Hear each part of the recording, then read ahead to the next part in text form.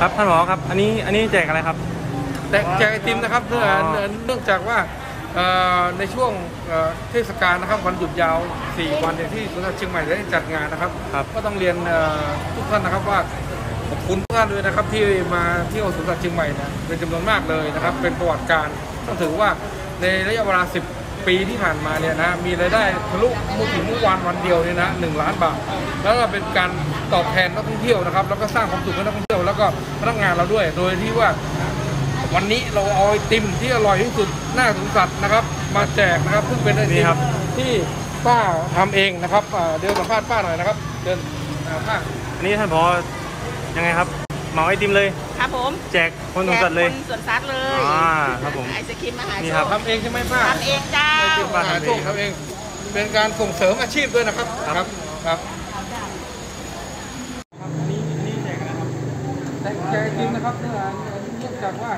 เอ่อในช่วงเอ่อเทศกาลนะครับวันหยุดยาว 4 วันเนี่ยที่สวนสัตว์เชียงใหม่ได้จัดงานนะครับครับก็ต้องเรียนเอ่อทุกท่านนะครับว่า ขอบคุณทุกท่านด้วยนะครับที่มาเที่ยวสวนสัตว์เชียงใหม่นะเป็นจำนวนมากเลยนะครับเป็นประวัติการก็ถือว่าในระยะเวลา 10 ปีที่ผ่านมาเนี่ยนะมีรายได้ทะลุพูดถึงเมื่อวานวันเดียวเลยนะหนึ่งล้านบาทแล้วก็เป็นการตอบแทนนักท่องเที่ยวนะครับ แล้วก็สร้างความสุขให้นักท่องเที่ยวแล้วก็พนักงานเราด้วย โดยที่ว่าวันนี้เราเอาไอติมที่อร่อยที่สุดหน้าสวนสัตว์นะครับ มาแจกนะครับซึ่งเป็นไอติที่ป้าทำเองนะครับเอ่อเดินมาป้าหน่อยนะครับเดินได้นนี้ท่านผอ ยังไงครับเหมาไอติมเลย ครับผมแจกคนสวนสัตว์เลยแจกคนสวนสัตว์เลยอ่าไอศครีมมหาโชคทำเองใช่ไหมป้าทำเองเจ้าไอติมมหาโชคทำเอง เป็นการส่งเสริมอาชีพด้วยนะครับ ครับ ครับอ่า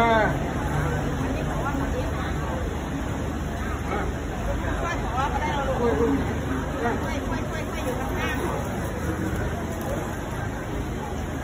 ได้เป็นลมเลยเออ